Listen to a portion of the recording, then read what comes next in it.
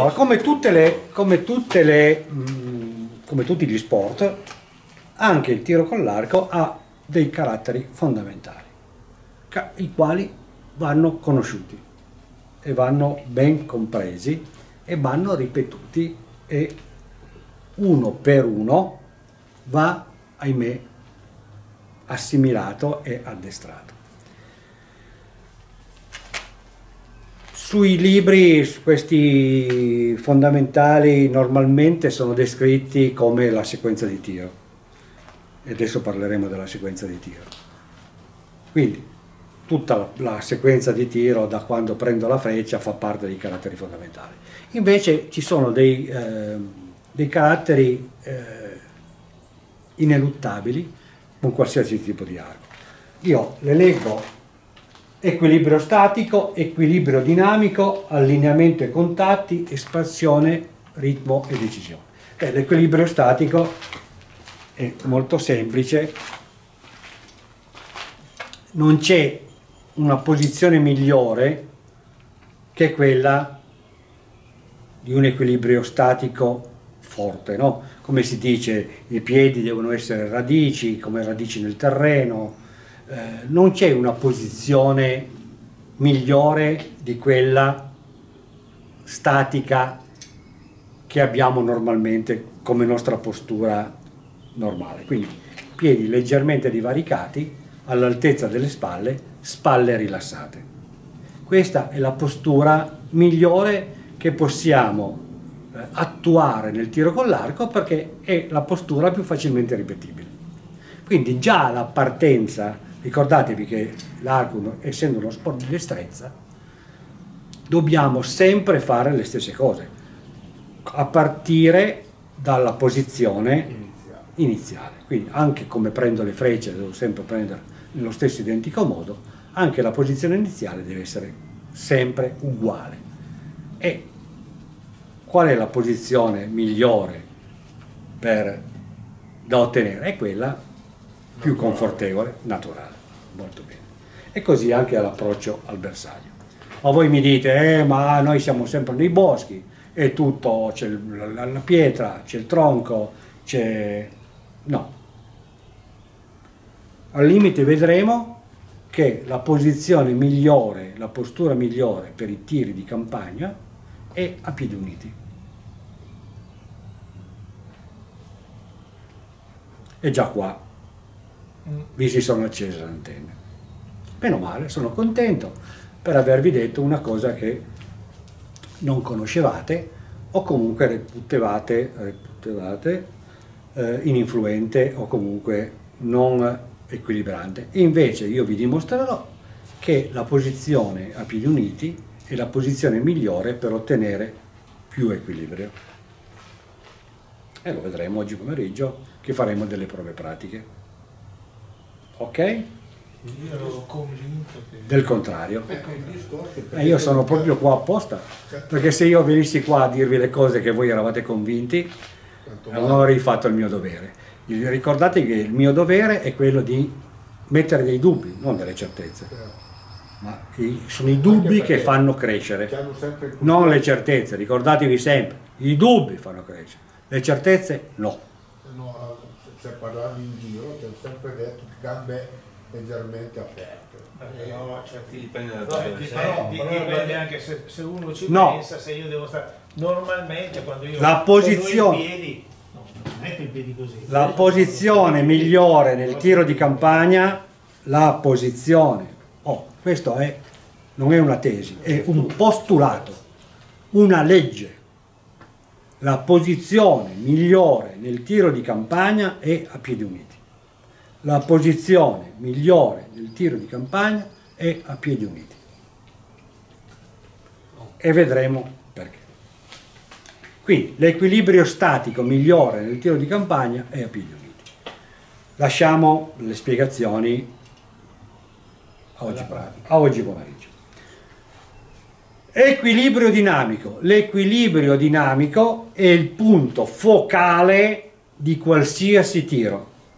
Qual è l'equilibrio dinamico? L'equilibrio dinamico è lo stato di equilibrio delle forze una volta raggiunta l'energia elastica potenziale massima. Quindi l'equilibrio dinamico è questo. In questo momento io devo essere in equilibrio dinamico e ci rifacciamo a tutto quello che abbiamo detto prima sul forza resistente e forza di trazione, due vettori contrapposti.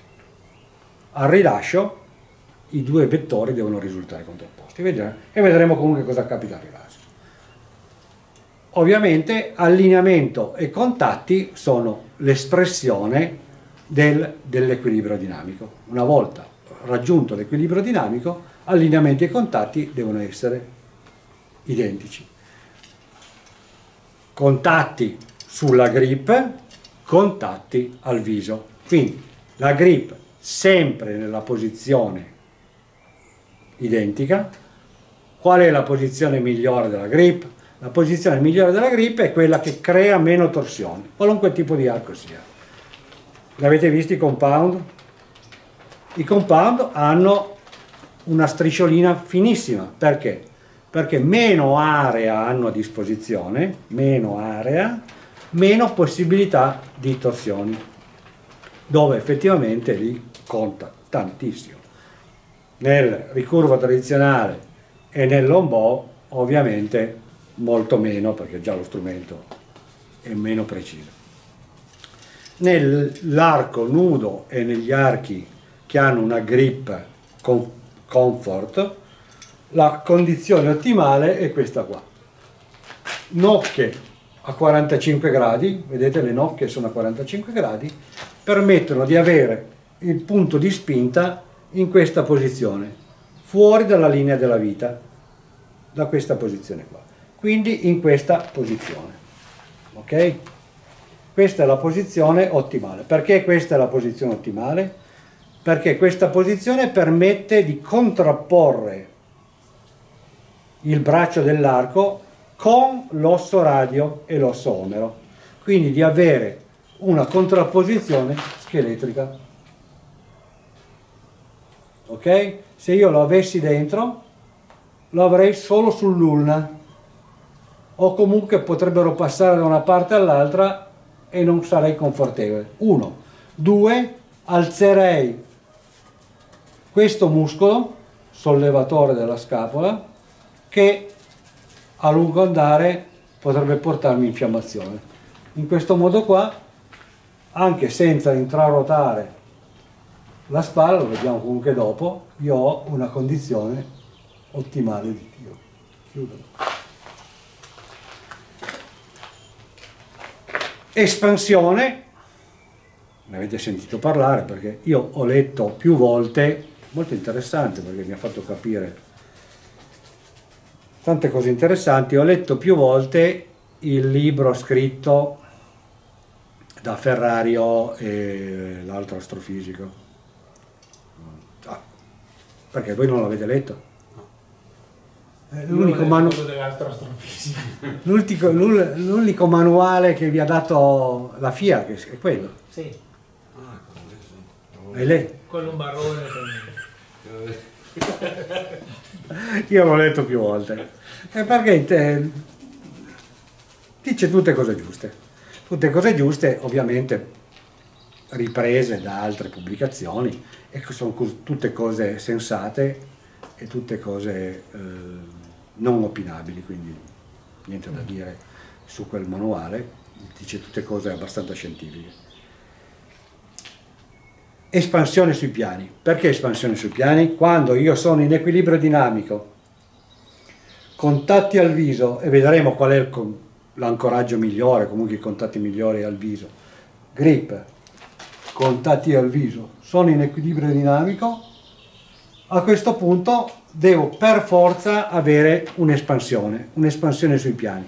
Un'espansione sui piani vuol dire mantenere la stessa forza di resistenza e di trazione fino al rilascio, cioè non, praticamente non cedere, ma non solo non cedere di allungo, ma non cedere in un'angolazione che non sia quei due vettori contrapposti. Mantenere l'equilibrio dinamico quindi il mantenimento dell'equilibrio dinamico. Questo equilibrio dinamico ovviamente si ottiene solamente se io scaricherò il bicipite e porterò sui muscoli dorsali la forza del tiro. A questo punto posso rilasciare. Quindi portare da questa muscolatura del toide tricipite a il muscolo dorsale. Come mi accorgo che utilizzo i muscoli dorsali? Dal movimento della scapola. La scapola è un osso, ma viene mosso in un determinato modo, e lo vedremo con le prove pratiche, e anche come muoverlo, dai, dai muscoli più importanti. È, una, è un'operazione semplice? No, non è un'operazione semplice. Perché non è un'operazione semplice? Perché tutti i muscoli del nostro corpo hanno muscoli antagonisti e agonisti. Ad esempio il bicipite è antagonista del tricipite. Il bicipite serve per fare questo movimento, il tricipite serve per fare questo movimento. E siamo bravissimi a rilassare il bicipite quando facciamo così e a rilassare il tricipite quando facciamo così. Lo facciamo ma senza pensarci ed è un'operazione difficilissima. Proviamo a tenerle tutte e due tesi. Ecco che comincia a tremare e sentiamo male un po' dappertutto. La stessa cosa vale per i muscoli dorsali, perché i muscoli dorsali quando li adoperiamo? Per tirare sul sacco di pellet, tutti insieme per tirare su la, le borse del, della spesa o le borse della bottiglia dell'acqua.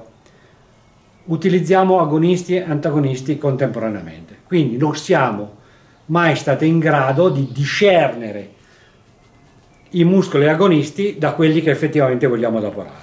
Quindi noi vogliamo adoperare trapezio e romboide per poter far abbassare la scapola e trasferire da, da tricipite a muscoli dorsali parte della forza di trazione, ma non riusciamo a farlo, non riusciamo a farlo perché i muscoli agonisti di questi due ce lo impediscono e non siamo in grado di rilassare i muscoli agonisti che impediscono al trapezio al romboide di operare come si dovrebbe.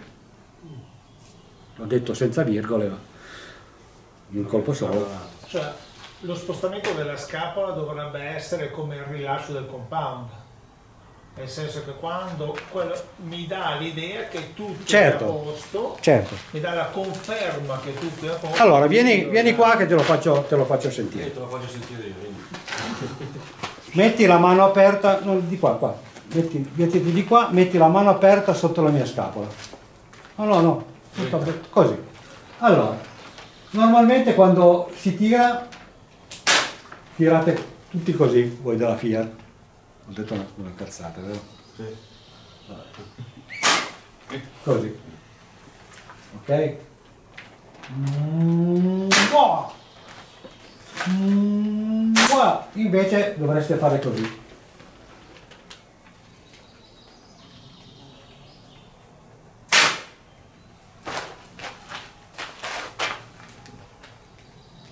Descrivi ai tuoi colleghi cosa hai sentito. Prima e dopo. Beh, Prima niente. prima niente, Tutto poi c'è un rigonfiamento sotto... Rifacciamolo. Rifacciamo così lo faccio vedere. No, scusa. Allora, il tiro solo di tricipite è quello così. Miro, miro, miro, miro, via. Non ho il tempo di poterlo fare. Adesso vedremo che solamente quando il gomito è a 90 gradi io riesco a innescare la scapola. Quindi io andrò in questa posizione e già innesco i muscoli dorsali. Ok? E a questo punto mi aiuto nella trazione, chiudo il muscolo dorsale e rilascio. E sono perfettamente in equilibrio dinamico. Comunque lo vedremo in pratica per ognuno di voi. Come fare e come anche insegnare a fare, che ahimè è la cosa più difficile ma è essenziale perché è un fondamentale per poter mettere in linea i due, i due ve- vettori in espansione. Io l'espansione ce l'ho in questo modo qua, no? Sono in questa posizione. Sapete che nell'arceria moderna non c'è più la pretrazione. Una volta cosa si diceva? La pretrazione era un passaggio della linea del... si, metteva così, boh, non so cosa si pensava, e poi si andava in ancoraggio, si mirava e si rilasciava. Ora, se guardate tutti i filmati dell'arco olimpico, si va, si, si va direttamente in ancoraggio. Quindi è tutta una preparazione comunque molto veloce. Sono in questa posizione qua, sono già con i muscoli pronti, ancoraggio. Ora sono, devo affinare l'equilibrio dinamico. Come lo affino? Con l'espansione sui piani, espansione mentale e interna dei muscoli dorsali e rilascio. Braccio che tieni l'arco, Paolo, tieni leggermente... No, ma non c'è bisogno, non c'è bisogno, no? non possiamo fare esattamente quello che fa l'arco olimpico. Purtroppo sia i manuali, sia le guide, che anche la disposizione mentale dell'istruzione è portata a quello che è l'arco olimpico, che può fare certe cose perché è stabilizzata e soprattutto perché i grandi campioni che adottano queste tecniche lo fanno 8 ore al giorno e sono strutturalmente eh, appropriati a fare eh, determinate azioni che per noi non solo sono impossibili, ma molto spesso sono deleterie, come l'intrarotazione della spalla. Per poter mettere la schiena non in linea ma in linea con questo braccio qua quindi spostata devo leggermente rintrarotare la spalla. E assolutamente non lo posso fare né con l'arco nudo né con l'arco tradizionale né con l'ombò. Non è proprio possibile. Io posso accennare e vedremo un corretto equilibrio dinamico che ce l'ho solamente scaricando il tricipite il più possibile sui muscoli dorsali. Quindi l'allineamento che io posso fare è questo, il massimo del mio allineamento, le, le, la schiena dritta. Sì, no, quello che intendevo io, no? Adesso tu sei, non sei allineato... Andiamo con l'arco sei proprio dritto, sei leggermente con la mano davanti sotto la, il visuale dell'occhio, o no? Sì. Sì. Cioè non sono proprio dritto così che vado proprio anche, se sgancio male vado a eh prendermi no, dentro. No, no, no, no, no, non puoi fare perché se no dovresti trovare eh. leggermente la spalla, non, non puoi farlo. Devi per forza metterti in questo modo qua. E poi allinearti dopo e vedremo anche il braccio come dovrà essere. Quando eh, fai provare alle sagre così, vedi, ehm, ti capita la persona che si prende sempre dentro nel, nell'avambraccio. Eh, che cosa che devi guardare? L'extra rotazione del polso, la posizione, lì hai poco tempo perché Ma normalmente girano sulla eh, spalla. Girano, girano... No, no, ma anche non girato, si portano in questa posizione. Guarda che posizione sono. Sono in questa posizione. Sì, e quando li guardi... Eh, no, ma devo essere, in questa posizione, devo essere in questa posizione. Sì. Ma facciamolo, tenere questo braccio... Questo è un, è un fondamentale della danza classica, muovere il braccio senza muovere la spalla. Così. Sì, non c'è neanche proprio, neanche proprio tutto leggermente flesso. Bravissimo, leggermente flesso. Leggermente flesso ti evita di, di, di prenderti dentro con eh, Il braccio va disteso ma non bloccato. Eh, però io vedi, a volte quando impugno l'arco faccio questa rotazione qui che mi, mi tiene un pezzo...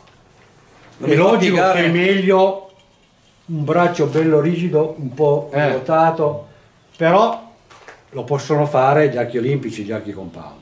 L'arco tradizionale non è conveniente. Ah, ah. Non fossilizziamoci mai, su, e lo dico da uomo fitarco, non ci dobbiamo fossilizzare da quello che come ce la raccontano. Mm. Nell'arco nudo, nell'arco tradizionale, non può, noi funzioni. Non funziona. Quindi leggermente flesso. Eh, oh. Leggermente flesso. Quindi leggermente flesso. Guarda, guarda che bello. Guarda che bello. Guarda la posizione della mano. Quella lì fa tantissimo per non prendersi dentro. Cambia da così. Io ho avuto un arco olimpico. Sì, anche perché poi eh, prendendo qua non ti puoi prendere dentro perché l'arco ti passa poi. Esatto. eh, Ho la un arco olimpico che per Io so, così sono lavoro- perfettamente in equilibrio. per motivi di lavoro non Poi per carità, magari l'arco, Sì, una volta uscita la freccia, ma quando la freccia è qua, io posso ballare la tarantella. Sì, diciamo che l'arco gira quando tu lo impugni anche troppo, lo prendi perché se Adesso lo- poi che che vediamo i tiri, vi faccio vedere i tiri. Esattamente.